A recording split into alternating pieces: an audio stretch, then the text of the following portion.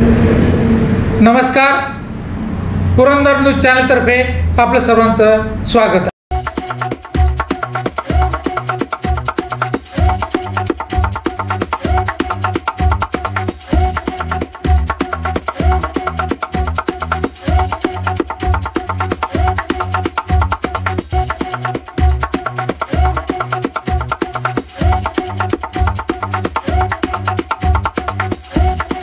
नमस्कार.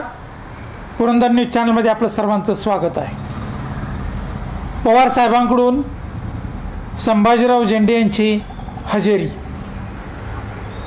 महाविकास आघाडीचे प्रमुख व राष्ट्रवादी काँग्रेस पक्षाचे सर्वे सर्वा शरद पवार यांनी लोकसभा निवडणुकीत करिश्मा दाखवल्यामुळे सध्या महाराष्ट्रात तुतारीवर लढण्यासाठी विधानसभा इच्छुकांची गर्दी झाली आहे. मोदी बागेत अनेक विद्यमान आमदार माजी आमदार माजी मंत्री रांगेत उभे राहिल्याचे चित्र समोर आले आहे. उभ्या महाराष्ट्राला पवारसाहेबांची न्यूसन्स व्हॅल्यू माहिती आहे. मुख्यमंत्र्यांच्या स्पर्धेत असलेल्या असणाऱ्या विलासराव देशमुख व अनंतराव थोपटे यांना विधानसभा निवडणुकीतच पराभूत करून पवारसाहेबांनी राजकीय चाणक्षपणा दाखविला होता. महाराष्ट्राची सत्ता सातत्याने शरद पवार यांच्याच भोवती फिरताना दिसते. चार वेळा मुख्यमंत्रीपद राज्यात विरोधी पक्षनेता केंद्रीय संरक्षण मंत्री कृषी मंत्री व विरोधी पक्षनेतेपद सांभाळलेल्या शरद पवार यांना पंतप्रधान प पंतप्रधान होता आले नाही. परंतु ती क्षमता मात्र ते बाळगून आहेत. पुरंदर विधानसभा मतदारसंघावर तर एकोणीसशे बहात्तरपासून त्यांनी सातत्यानं प्रभाव ठेवला आहे. लोकसभेला शरद पवार व विधानसभेला दादा जाधवराव हे समीकरण त्यांनी अनेक वर्ष पुरंदरमध्ये यशस्वी करून दाखवले. संभाजीराव कुंजीर व अशोकराव टेकवडे ग्रामपंचायतीचे सदस्य नसतानाही त्यांना पवारसाहेबांनी आमदार करून दाखवले. मुंबई महानगरपालिकेच्या निवडणुकीत पराभूत झालेल्या विजय शिवतारे यांना मुंबईचे पार्सल पुरंदरमधून निवडून आणले. विजय आपलाच आहे.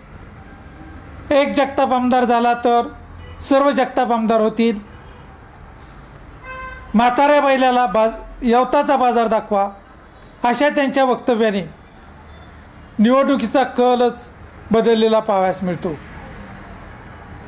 संभाजीराव काकडे व शंकरराव बाजीराव पाटील यांना पवारसाहेबांनी निवडूनही आणले आणि त्यांचा पराभवही करून दाखविला. म्हणूनच शरद पवारांचा उल्लेख महाराष्ट्राच्या राजकारणात तेल लावलेले पहिलवान असा केला जातो.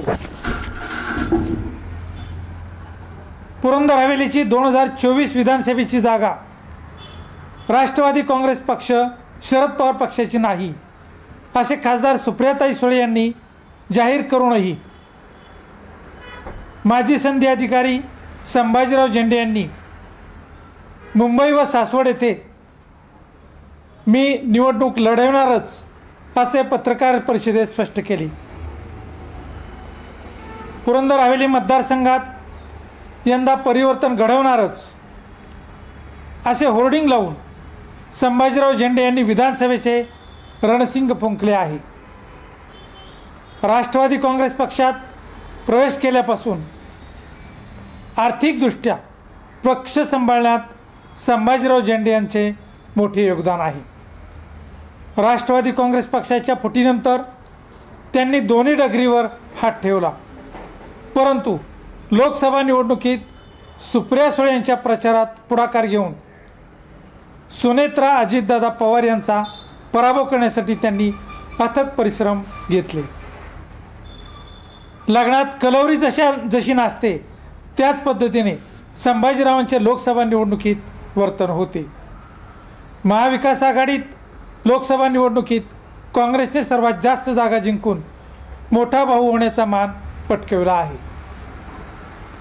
तसेच विद्यमान आमदार संजय जगताप यांनी सुरुवातीपासूनच स्पष्ट भूमिका घेऊन शरद पवार यांना पक्षाच्या फुटीनंतर उघड पाठिंबा दर्शविला.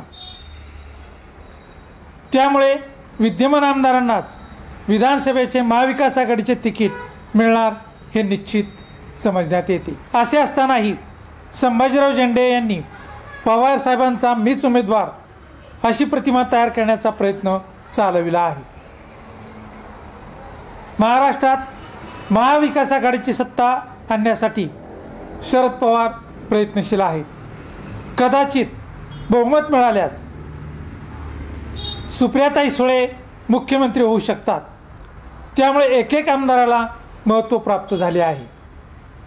त्यामुळे जेजुरीतील मल्हार नाट्य व इतर विकास कामांच्या उद्घाटनासाठी व भूमिपूजनासाठी येत असताना शरद पवार साहेबांनी संभाजीराव झेंडे यांना स्वतःच्या गाडीत टाकले व त्यांची चांगलीच हजेरी घेतल्याचे विश्वसनीय वृत्त आहे.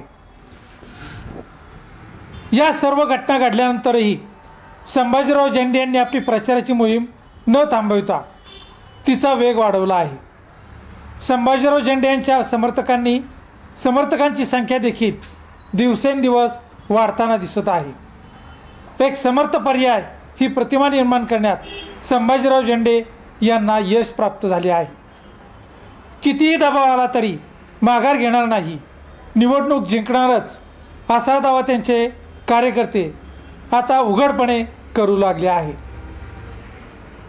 धन्यवाद.